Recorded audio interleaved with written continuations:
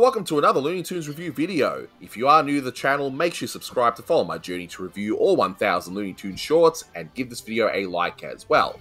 So this is a review for His Bitter Half, and with me today are my two fellow, I guess, uh, bitter halves. I don't know. I can't think of anything for this one, but they're my good friends anyway, Mark Arnold and Kamden Spies. Say hi. Hi. This is His Bitter Half, released on the 20th of May 1950. It had a blue ribbon reissue sometime in 1957. It's the 589th of the series, and it's directed by Friz Freleng. It did show up on MeTV Restored, and that's what I'm using right now for this review.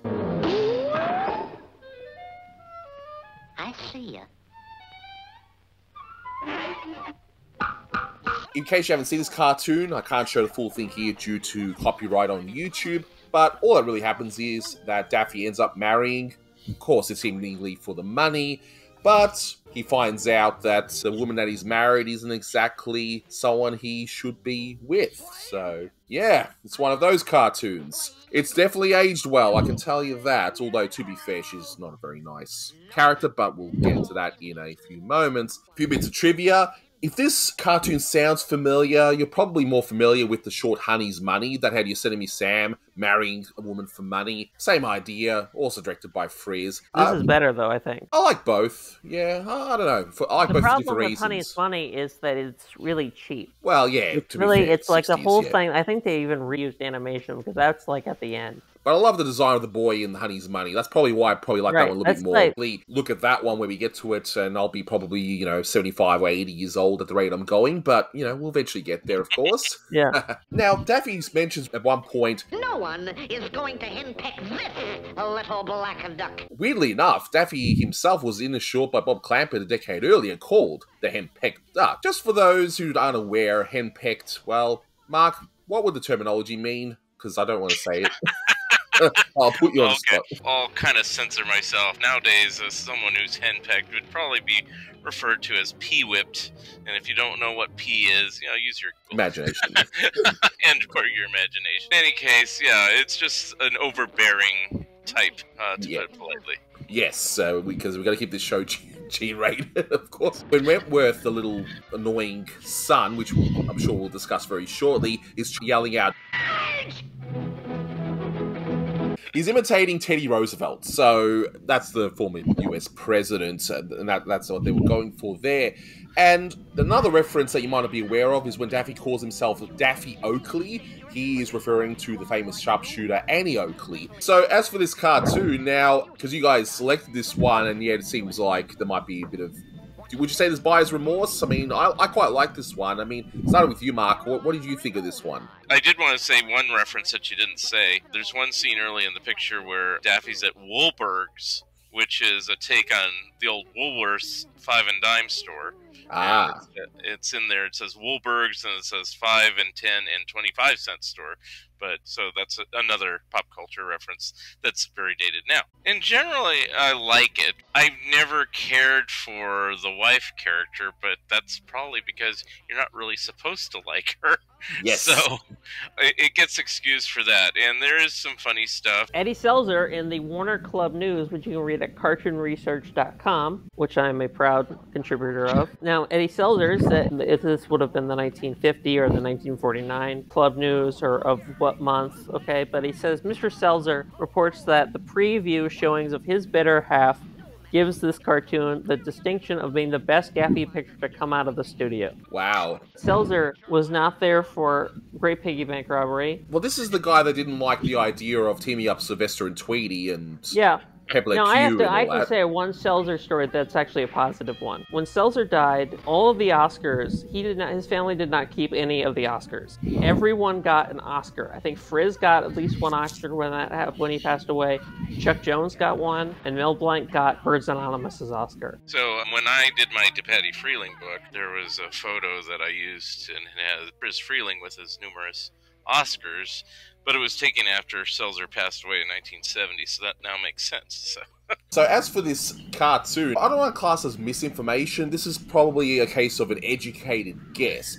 But the voice of I guess Mrs. Daffy Duck because she doesn't even have a name in this one, and we'll, so we'll just call her Mrs. Daffy Duck, I suppose, because there's nothing else. You know, I don't want to call her Battle Axe or anything, you know, to use an old term that's used in this cartoon. But I asked Keith Scott to confirm whether it was Martha Wentworth who did the voice, because that's what has been going around, and he confirms that this one's actually not confirmed because he researched deep into the archives and to see who voiced what, and this is one of the few that he could not confirm. He does note that Martha Wentworth did do a voice like the one in this cartoon as a female wrestler on a radio show in 1949. That'd be a pretty good voice for a female wrestler. He also cites Lucille Bliss, like a younger Lucille Bliss, who actually did do a voice like that when she was younger, but it's up in the air at the moment.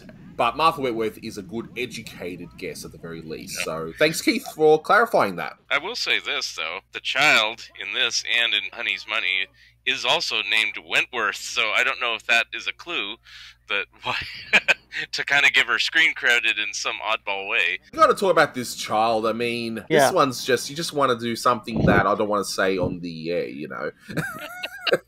You know what he reminds me of? He's he, like a stupider, nastier version of the chicken child, as it were. I don't know what his name is. That's in all those Foghorn Leghorn. There is a foghorn leghorn with a kid this jerky. So you know, it's it's kind of that vibe. But you know, anyway, I, I mean, I mean, does Tedd Pierce just not like kids or something? Because it uh, just, I, I get but that I mean, vibe. I mean, they all kind of did this kind of thing. This was kind of like a trope. again referencing one of my own books. Tedd Pierce was one of the writers for the Alvin show, but not for long because he referred to Alvin and the Chipmunks as, and I'll leave it to you rated a holes. Ross Bagdasarian Sr. didn't like that too much. No. Anyway, so he may not have had a liking for children. yeah, it doesn't sound like it. But to be fair, I mean, with the way I've seen some mothers Ted and the Pierce, kids I think, out, did have a child, though. I think, though, he did. I think he had a son. Doesn't mean he liked him. yeah, exactly. God there is that, Yeah, uh, it. definitely.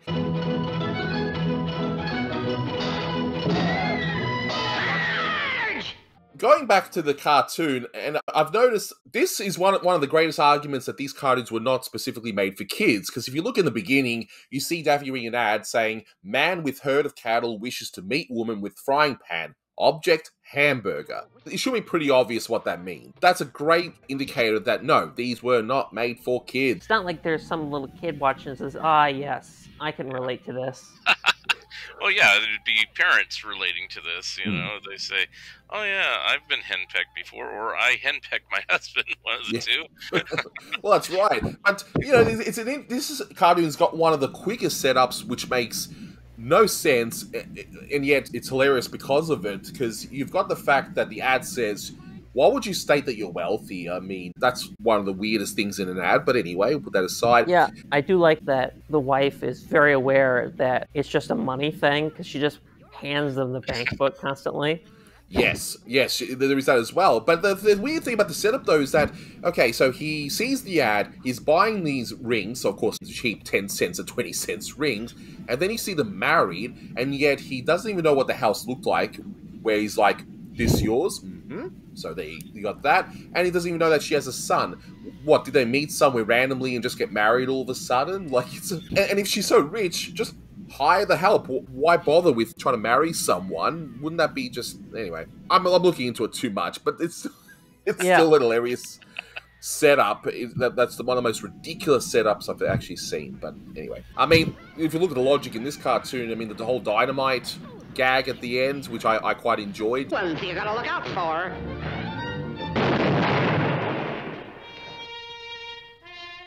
Wentworth. It was actually in this cartoon, I believe, uh, because I didn't see it before in, in the previous cartoons, where Daffy's bill falls off in the exact same way it would in the Hunting trilogy, and Yeah. so I believe this is the the first as well, which I didn't expect, but anyway, it's here. Daffy Duck gets scalped as well, also, besides uh, losing his bill. So I don't know if this is like the first time there's like a greedy Daffy. We kind of hinted at that, uh, but it's definitely a transitional one for Daffy from being just loony, wacky Daffy, you know, to what he became more greedy, especially in the Chuck Jones shorts. Yeah, uh, I definitely agree because I did notice that it's like, hey, his motivation here is clearly, oh, she's wealthy, so and I'm gonna live live the high life in this.